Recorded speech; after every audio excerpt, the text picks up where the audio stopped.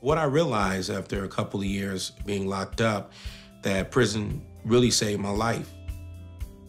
My name is Chef Jeff Henderson. I reside here in Las Vegas, Nevada. Today on the menu, a croque monsieur. Doing a California style. I'm using Dave's Killer Bread plain awesome bagels.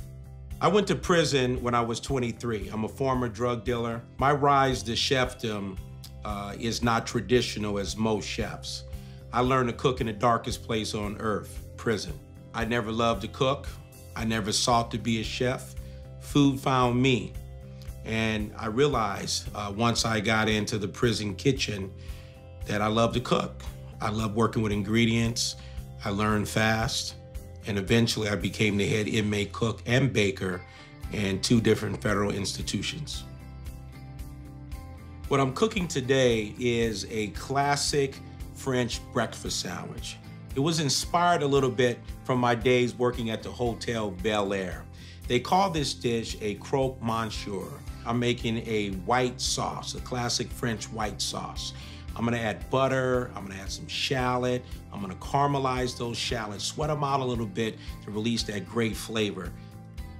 I have this piece of Parmesan cheese and I put it inside of this little smoking box that I have. I add a little bit of mesquite wood chips and smoke this cheese for about a good five minutes. I just love Dave's Killer Bread plain awesome bagels. They're chewy, great texture. Once they get toasty, I bring them out and I begin to build the sandwich. Hit it with a little more smoked Parmesan and I just let it melt. Bring it out,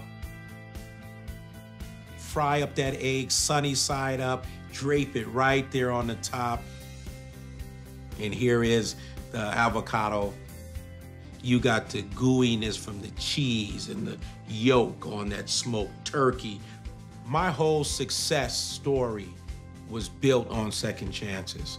When a chef who I read about in the USA Today, Robert Gadsby, gave me that second chance to become the best version of myself in the culinary world. So I'm a testament, a walking, living example, along with the other folks. Judge us not by our past, but judge us on what we bring to the table today. Leading by example is, is important to me. My role in culinary arts these days is working with formerly incarcerated people who have a love of cooking, whether they're in the prison system or returning citizens. So it's important to walk my talk. It's important to be that example to my children and other people in the community, and that is never too late that until you take your last breath, it's never too late. And every day that you're breathing, you can have a second chance.